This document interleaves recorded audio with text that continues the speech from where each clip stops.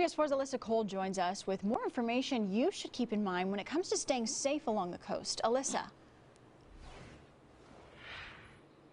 Rip currents are fast moving channels of water that can be difficult to spot on shore.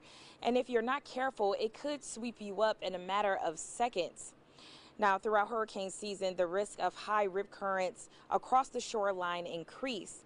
According to the National Weather Service, rip currents appear dirty and sometimes choppy or without waves.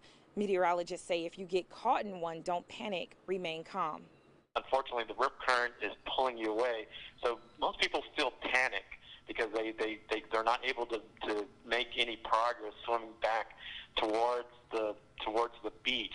And so that's where a lot of people uh, unfortunately drown because they, they tire out and are not able to swim back. Experts say all you have to do is swim out of the rip current and parallel to the beach. Once you're far enough from the current, you can start swimming back towards shore. If you can't handle the swim back, use both arms to wave at a lifeguard to call for help. According to SPI Ocean Rescue, there will always be a flag on the beach to indicate if there's a high risk of rip current, so be sure to look out for red or yellow flags that indicates moderate to dangerous water conditions. But for now, live at South Padre Island with complete valley coverage, Alyssa Cole, CBS 4 Valley this morning.